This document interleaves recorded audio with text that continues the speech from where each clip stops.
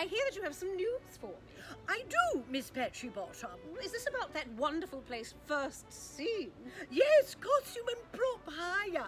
Oh, well, we're obviously not wearing costumes now at all, but if we wanted to get dressed up in a period other than the Regency where we currently reside, like the future, Oh, like the 1920s. 1920s. Or a cowboy or a pirate. Oh, a pirate. Yes, Oh. well, tell me all about. Yes, well, they have a room that they have created that's lovely. It's festooned with lovely lights Ew. and tables and chairs, and you can go to first scene with your group of friends and dress up as much as you like. Take lots of pictures and videos, have much fun, and then sit down and have something to eat and to drink. Oh, wonderful. Yes, you can go straight there with all of your friends and have a great festive time. I think you should all do that immediately. And if you wanted some entertainment, you could ask us. We're con artists. We are. We could come and entertain you as well at first scene. Oh, you're so clever, Miss Gingerbottom. Oh, thank you, the Patchy Bottom.